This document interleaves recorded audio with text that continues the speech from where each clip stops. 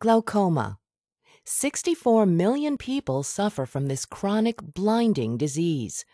The glaucoma drug market is worth more than $4 billion. Glaucoma treatment aims at reducing eye pressure.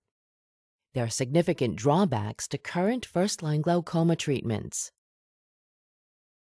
Eye drops. Treatment involves daily application, inconvenience, cost, and side effects such as red eye and irritation.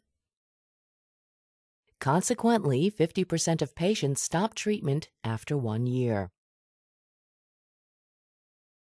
Another possibility for reducing eye pressure is a one-time laser therapy that involves direct eye contact for at least 5 minutes, including 100 separate laser shots.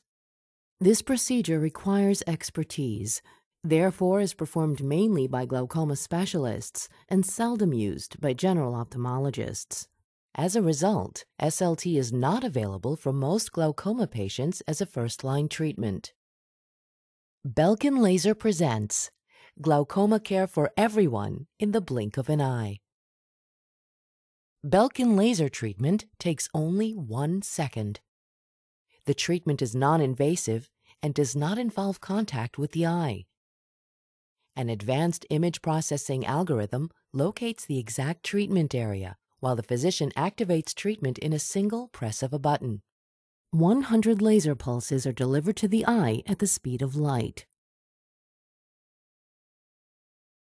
Therapy takes only one second, resulting in eye pressure reduction.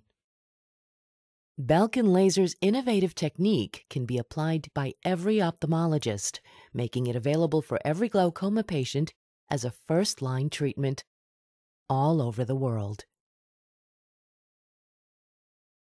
Belkin Laser, glaucoma care in the blink of an eye.